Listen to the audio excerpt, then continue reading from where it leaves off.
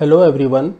In this video, we will be discussing about the construction and design of mine boundary pillars as per Rule 12V of Mineral Concession Rules 2016. As an example for this video, a mining lease boundary has been made with the boundary dimensions as shown. Each corner of the lease area shall have a boundary pillar which is called corner pillar. Corner is the bend in the lease boundary. To construct intermediate pillars.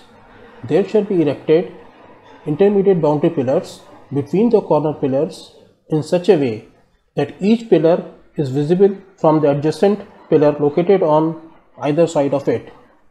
In this example, pillar number 13 and 15 are on the either side of pillar number 14. So, from pillar 13 or pillar 15, pillar 14 should be visible. The distance between two adjacent pillars shall not be more than 50 meters. The distance between these two corner pillars is 190 meter. So we place intermediate pillar after 50 meter, 50 meter, 50 meter and this distance is 40 meter. Then the distance between these two pillars is 45 meter. So no need to place a corner uh, intermediate pillar. Then distance between these two corner pillars is 60 meter. So we place an intermediate pillar here uh, after 50 meters and this distance is 10 meter. Then distance between these two corner pillars is 100 meter. So we place an intermediate pillar after 50 meter and this distance is 50 meter and so on. Shape of the pillars. The pillar shall be square pyramid frustum shaped above surface and cuboid shaped below surface. The pillar should be made of reinforced cement concrete and no other kind of material should be used for constructing the boundary pillars.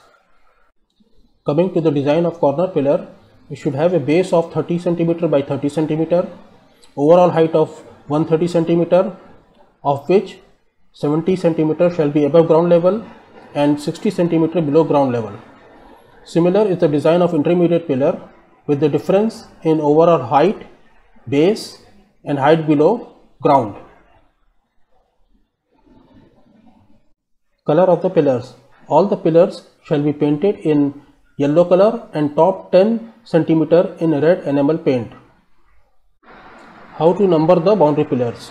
Each pillar shall have a serial number in clockwise direction and the number shall be engraved on the pillars. The number of pillars shall be the number of the individual pillar upon the total number of pillars in the lease. In this example, we have 18 pillars. So starting from this pillar, it will be 1 upon 18, 2 upon 18, 3 upon 18, 4 upon 18 and so on. Markings on corner pillars. Apart from pillar number, distance and bearing to the forward and backward pillars and latitude and longitude shall be marked. The tip of all the corner pillars shall be a square of 15 cm on which a permanent circle of 10 cm diameter shall be drawn by paint or engraved and the actual boundary point shall be intersection of two diameters drawn at right angles.